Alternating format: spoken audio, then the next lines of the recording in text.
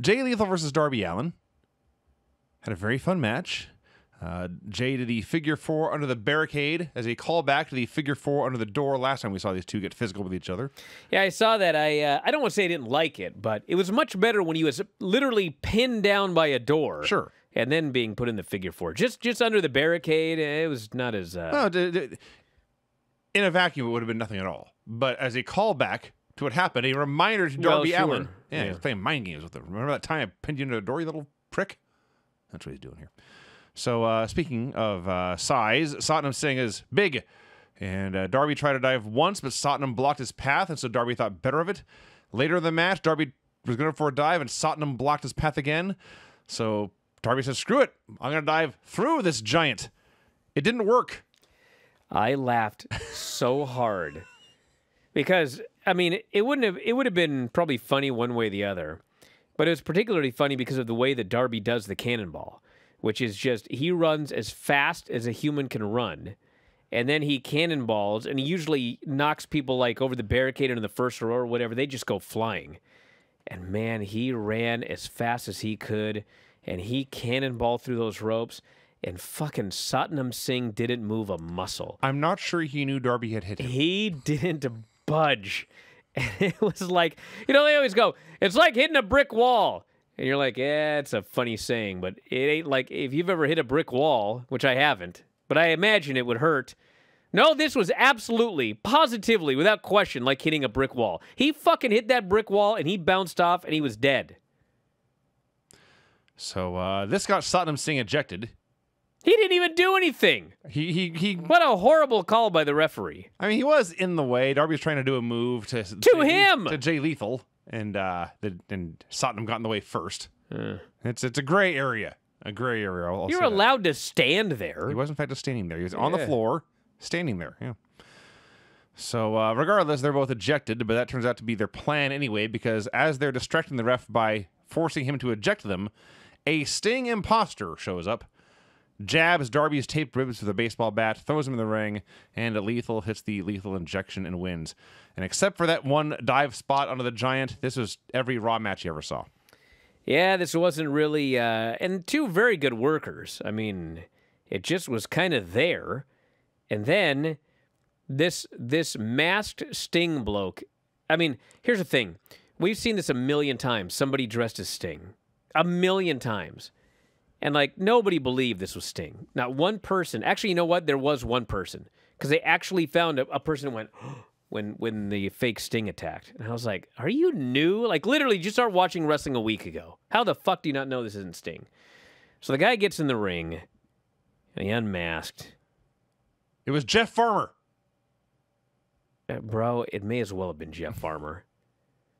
It was uh, two dimes, Two times, yes. Cole Karter, and I had absolutely no. I, I I had such no idea who this was when he took that fucking thing off that I thought it was going to turn out to be just some rando that uh, had been hired by Jay Lethal. Just like we'd never see the guy again. It was just some, you know, they found a local actor, but then they alert us it is it is Cole Karter of the The the factory. the factory. Yeah. Cole Karter of the factory, they say. I was like, wow, cool. Okay. So they start beating on the guy, and then they they hit Sting's music. And you know something's gonna happen because all the heels leave the ring and they stand in the aisle and they're they're waiting for him to come. You always know something's gonna happen when they do that. And sure enough, a cowboy hatted man mm-hmm.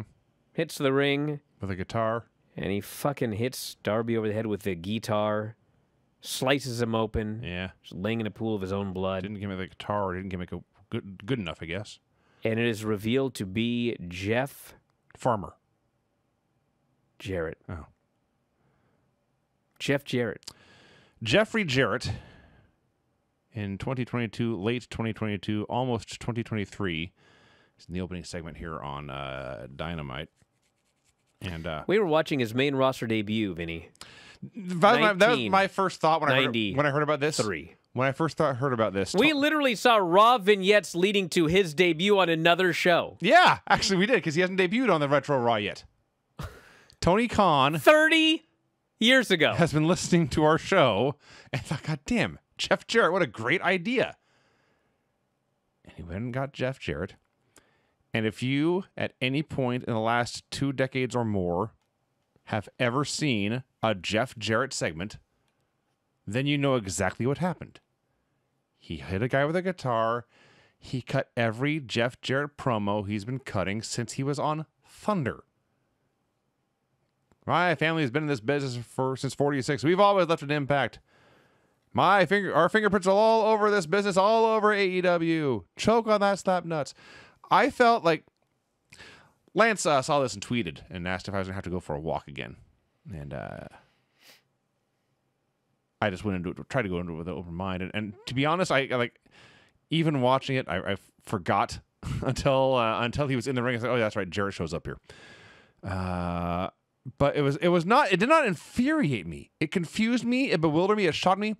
It's like you went to a time machine. It took a time machine, took Orlando Jordan's time machine, and went to the Impact Zone, or the Asylum, or Thunder, or Shotgun Saturday Night, or one of these shows, and just grabbed that Jeff Jarrett and brought him out here to do the exact same thing. It was uh, an anachronism, totally out of place on this show. It did not feel like an AEW segment at all. But I wasn't upset. I was confused and bewildered, but not upset. Then they played My World. when I heard this song on Dynamite, it's a good thing there was a segment even worse on NXT. I had no anger left in me. There was? There was, oh, I thought so. Which one? Mandy. Oh, God. Yeah, I was angry. Yeah. I'll admit. We'll get to that. Hey, listen. You know, I uh I was baffled. And I have nothing against Jeff Jarrett. I like watching Jeff wrestle. I don't have PTSD like some people over Impact. yeah. But but here's the thing, and this is why I'm gonna. This is why I'm I'm not gonna freak out now, because literally he just debuted. Now the segment, I mean, the segment was not very good at all. It got a mystery sting that we've seen. Nobody bought it. It's a guy we don't know who the fuck it is when he unmasks.